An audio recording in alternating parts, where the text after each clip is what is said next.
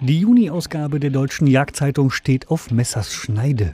Aber nicht wie Sie denken. Es geht um das Thema Jagd und Freundschaft. Darüber lassen sich ganze Bücher schreiben. Wenn es mit der Freundschaft nicht klappt, gibt es passende Tipps für das richtige Messer. Ah, kleiner Spaß. Bei DOZ TV wird auf den Fuchs gejagt und zwar am Tage bei bestem Licht im Feldrevier. So soll's sein. Er kann ja schließlich immer kommen, der Rote.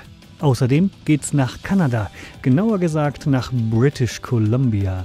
Die Elchjagd ist genau das Richtige für den abenteuerlustigen Jäger.